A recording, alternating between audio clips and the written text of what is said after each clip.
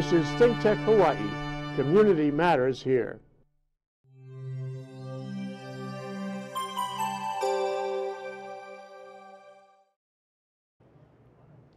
Welcome. I'm your host, Sharon Thomas Yarbrough. Sister Power guest role in the community is helping the next generation understand money management. Our topic for this segment Next Generation Financial Learning Get Real Financial Reality.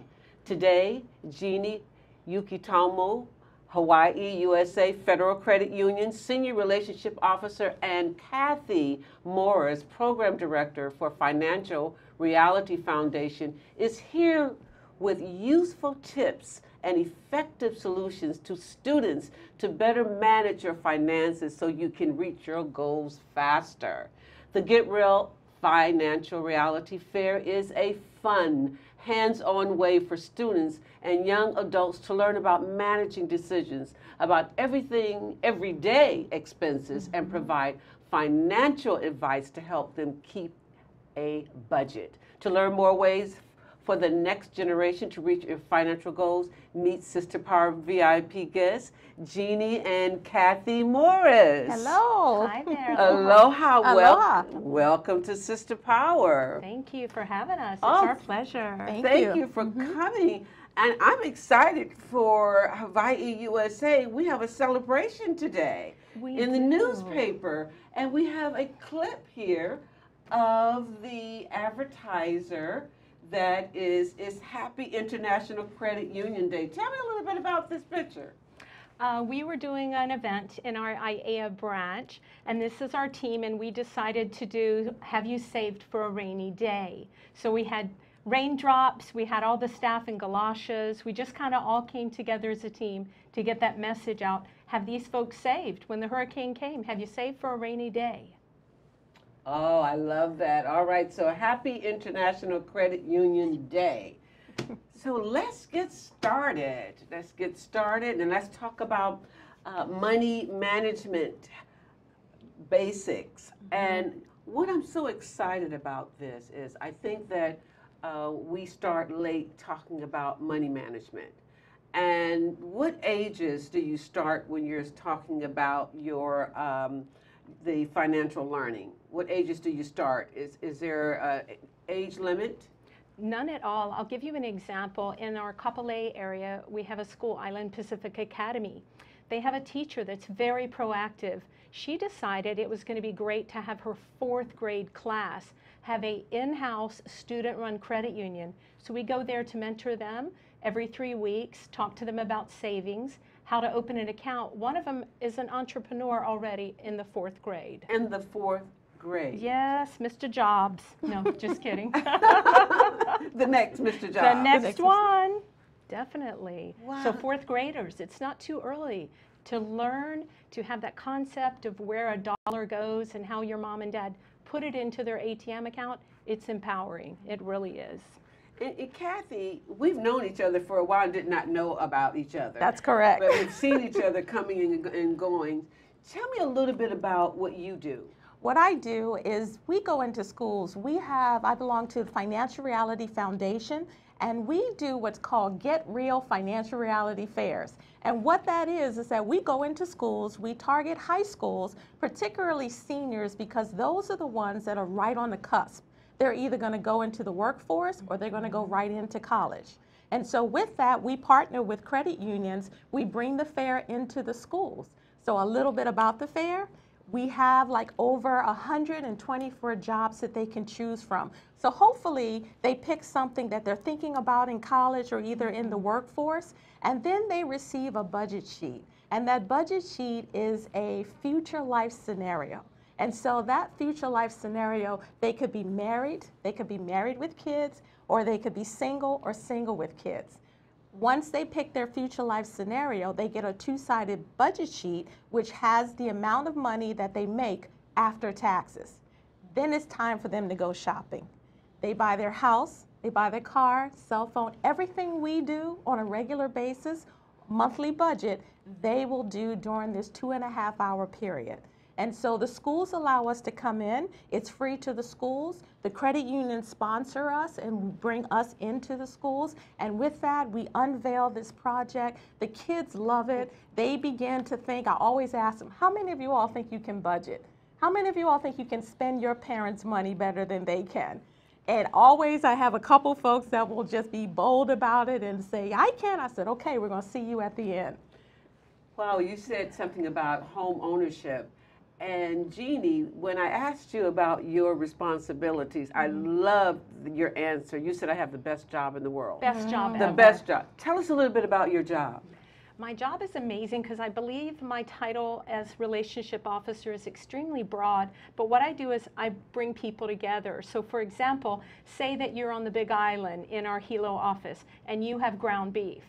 And she's over there and she's got tomatoes and I've got the lettuce. I'm going to bring everybody together mm-hmm. and we're going to have a heck of a hamburger, okay? Okay. So, what I enjoy about my job is I can teach people how to budget, how to save, and then in this pattern, in 18 months or so, they come back to us and I get a card in the mail and it says, Welcome to our housewarming. Please be our guest. And to know I played mm-hmm. as a job a little role and them not being homeless. Having a roof over their head, it's mm-hmm. just, I cry. I'm an ugly crier, but it's just amazing to see how we help people and how we can change lives just all together as a community. I'm paid for this. Yes. Well, high five on that, girl. Okay, good for you. But when you say your little job, living here in Hawaii, and we know how expensive the homes are here. Mm-hmm. So and when you are putting these people together, that's amazing for people to be able to afford to live here in paradise. I call Honolulu the bus stop to heaven. Mm. And so True. you Yes. are making it possible for them to ha- have a home. So how did the two of you hook up and how long have you been partners? Well, I've been in the credit union industry for quite a while. I, my previous vocation, I worked at the Hawaii Credit Union League, which is the trade association on behalf of all the credit unions. And through that partnership, I got a chance to meet with many of the credit unions, and she and I formed the unbreakable bond. And financial literacy and financial education fueled that bond of ours. And so mm-hmm. wherever she was able to go and wherever I was able to go to teach financial education, because that is my passion, I just truly believe that we've got to empower the next mm-hmm. generation. And it's through the credit union's efforts, it's through our program efforts, and we're hoping that this program then transitions over into the parents. Mm-hmm. So the parents then will have that conversation with the kids when they bring their budget sheet home. You know, by saying, hey, is this really real? And it is. Yeah, you know, I wish we had that when we were coming up. We said the same You thing. know, Yes. it's so needed because who knows if Social Security is going to be around. Absolutely. And so this is vital, the information. Now, how do you choose the schools?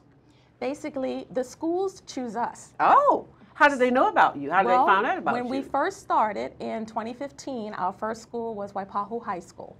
And from there, word of mouth travels, and they began to reach out to me and say, Can we do it at our school? So we do public schools, private schools, we're looking at home schools, uh, universities. But through word of mouth, they would call and say, Well, can you bring the program to our school? And of course, my answer is absolutely. So my next thing is to reach out to the credit unions. Hawaii USA Federal Credit Union is one of our uh, largest sponsors, along with other credit unions here. And then they decide to host. And when they host, they go into the schools uh, along with my program, and we just continue on. And we have we have gained much success, and we have reached over, I want to say, uh, 1,600 seniors the last school year. We reached the over. last school year. Yes. So you started in what year? We started in 2015 here in Hawaii. Oh my goodness. Now, our program originated in Alaska, so but in 2015 we started in Hawaii, and we've been growing like gangbusters, and we have a number of schools that have been uh, honoring us by allowing us to come in with their program, and it's been fantastic. I mean, the students, the the the way that the students respond Miss is Sharon, the priceless. beginning and the after is what she's leaving out. This Okay, I wanna hear it. Okay, so these kids are walking in, and for example, I'll use the high school Roosevelt. Okay. So we're there, and it's right before they're graduating. Kids are on their phone. They're like, "What am I gonna do?" Okay, it's something for two hours, and then she'll make a speech and say, "Okay, now." it's time to get real. So uh, we're pretending you are 24 Four, years of yes. age, and now you have a career, and they're like, oh, two hours, I'll kill time. And when they're now looking at this and they realize, wait, I have a baby? I have a baby? Oh, yes, that's And I have a job. This is how much I earn? I'm loaded. And then she's sending them off to all these different table representatives. But what they don't know is she's telling them, sell, sell, sell. You need that four bedroom, four bath swimming pool in Hawaii. Mm-hmm. Kai, buy that house. Or that BMW. They buy that car, they buy that house, and then they come to me at the end. They're like, oh, well, I'm only negative $5,000 every month. We're like, well, how are you going to live? You're now homeless. Wait, what? Well, they told me I needed this house. Well, everybody will tell you things. You have to listen mm-hmm. and budget. We're teaching you to budget. Then all of a sudden, an hour in, they're extremely nervous, like, wait, get my calculator. What did she say? Don't talk to me. They're very changed oh, yes. in this matter of time. And we love it just Yes. watching that 180 and we're sitting back just giggling, waiting for them. And there's come. so many epiphanies is you know that happens with these kids because they begin to realize how much their parents have to do every month. Yes. And when they real and we include everything. We include credit score. They learn about how their credit score can fluctuate. They understand that credit score equals buying power. And we do that with these yellow balls here. So tell us about the yellow balls. Okay, so the yellow balls are now some of us may remember this and some of us may not, but you remember the eight balls that used to tell your fortune? Well, I think I remember. Dig back far, I, I think I remember that. Well, bit. we have turned these into globes of reality. And so everyone starts out, all of the students start out with a credit score of 700. So then there are four tables where we check your credit score. That's your home table when you buy a home, your credit score is checked. When you buy a cell phone, your credit score is checked. When you buy an automobile, your credit score is checked. And should you decide you need a loan, you can go to the loan table, and guess what? Your credit score is checked. So every time we turn these balls upside down, and there are numbers on them plus or minus 10, 20, or 30.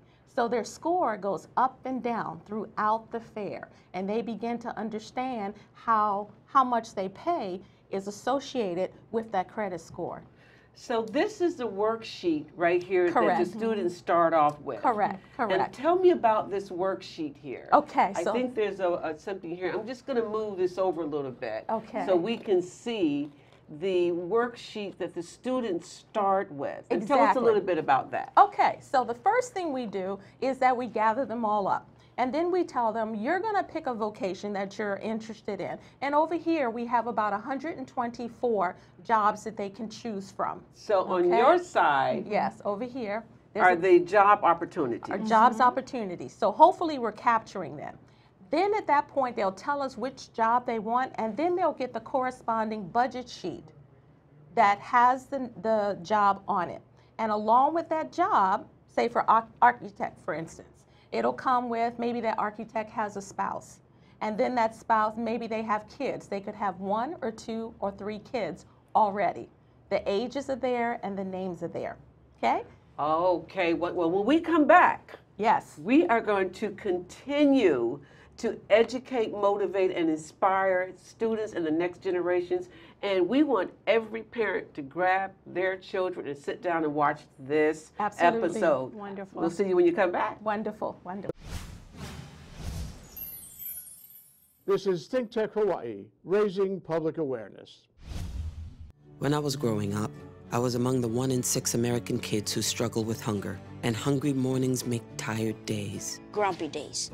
That kind of days. But with the power of breakfast, the kids in your neighborhood can think big and be more. When we're not hungry for breakfast, we're hungry for more. More ideas. More dreams. More fun. When kids aren't hungry for breakfast, they can be hungry for more. Go to hungeris.org and lend your time or your voice to make breakfast happen for kids in your neighborhood.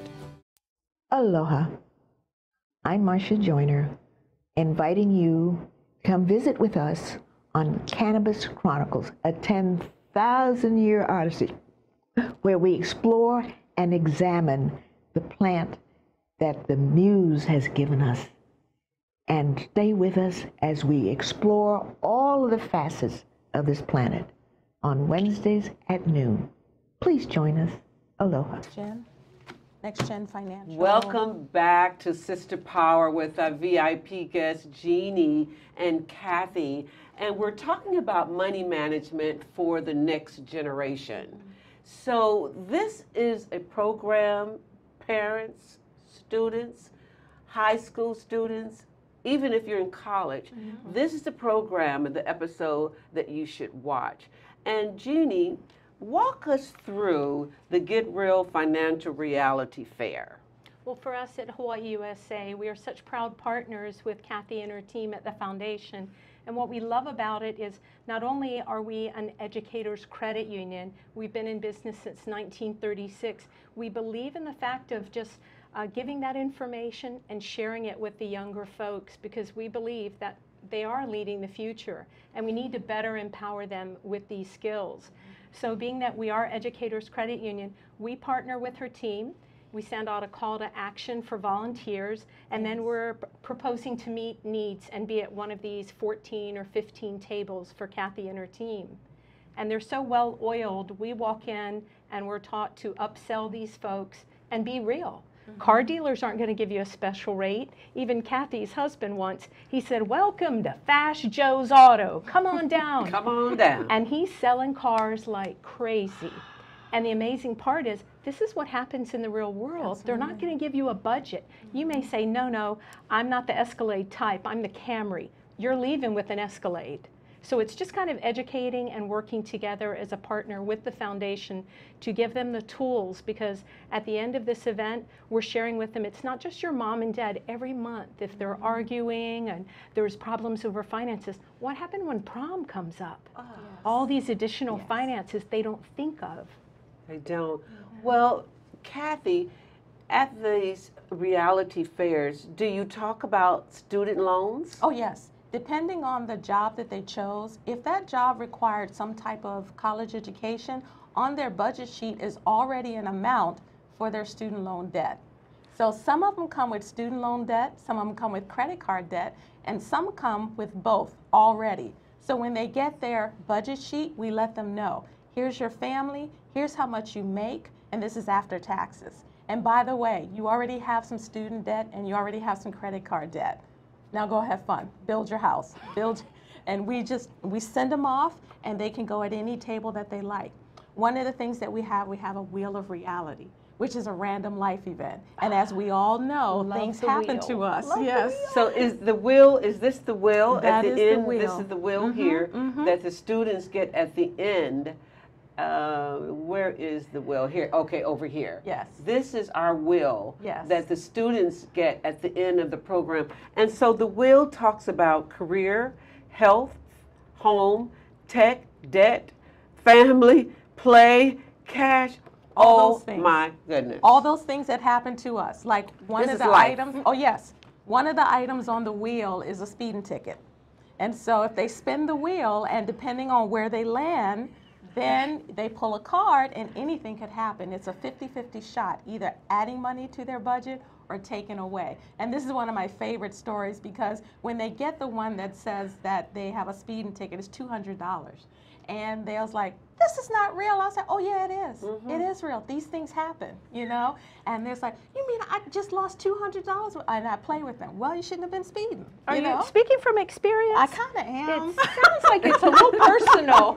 sure, I it kinda is. am. I've been there, you know, and, Yeah. and really that's why I love this program because, you know, I've I you know I can say that I've been in financial situations where I've had to struggle, Yeah, and I we do. all have. We all have, and so if we can give our students just a little bit of reality to let them know that hey, this is what's going to happen. However, it's manageable. It doesn't matter how much money you make. It matters what you do with the money you make, and Oh, we teach them that. Preach. Hallelujah. That's real. Jeannie, how do you help students get organized? We like to start out with we have, for example, Kathy mentioned about Waipahu High School when we first met. We've had a credit union inside of mm-hmm. Waipahu High School for 21 years. So what we like to do is we'll go out, have an actual student-run credit union in their facility. We're in the facility, they can open accounts, they can make deposits, they can learn to write checks, because nowadays everything's electronic and digital. So we have to teach them how to write checks. So we have student run credit unions that our credit union supports, and we go out into the community. We have them on Maui as well. We're working with our Hilo branch, mm-hmm. and we like to go out and just share this information because they're in our community as well. So we want to make sure we perpetuate that same message. Well, how do you prepare the students to choose a bank or credit union? How do you walk them through that? Well, um, personally speaking, at Hawaii USA, we actually have in the student-run credit union, we had one at a high school, and we were asking, how come the kids weren't opening accounts?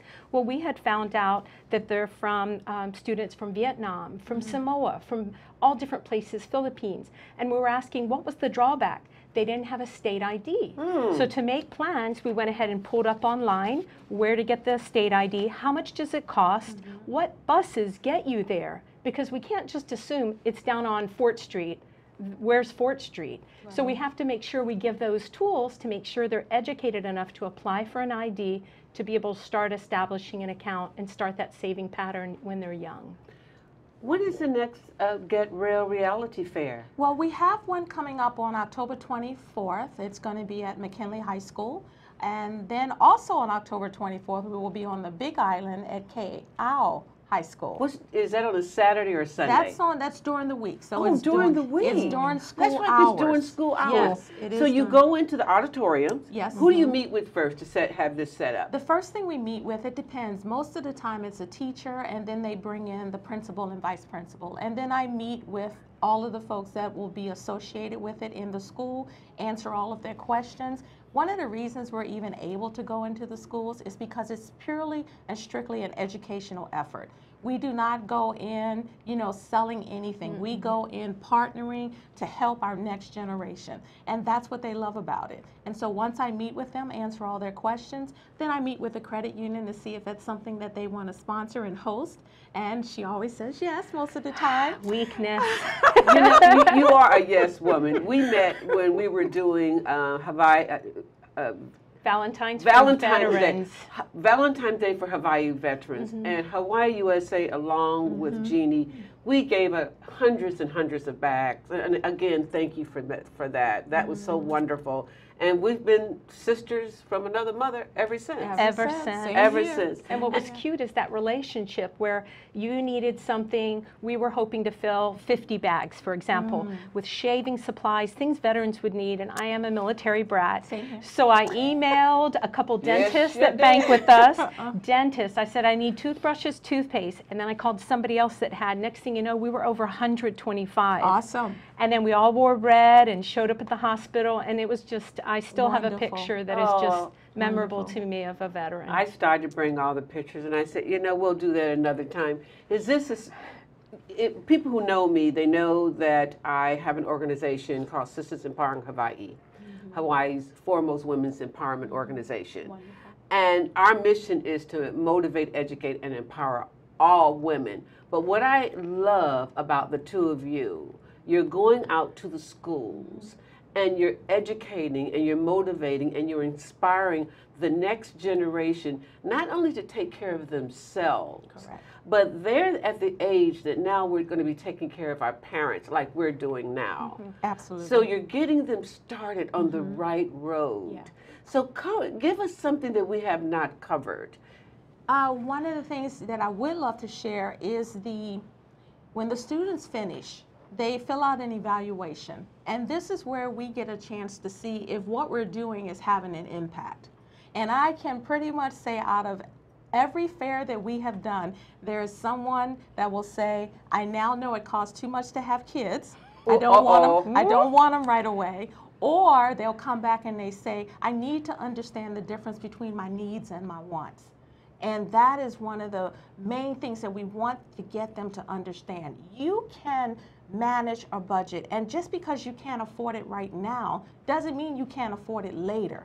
But do what you can now. And so those evaluations, we give them back to the schools so that they can see the impact that their students are having, along with what careers they chose. So the schools are able to see and think uh, what the kids are thinking because they don't think like we do. You know, they don't No. reason like we do. And seeing them interact with each other, and one of the things I love, and I've noticed this, like she said in the very beginning, they're on their cell phones, Yes. right? Well, when they begin the fair, those cell phones are up.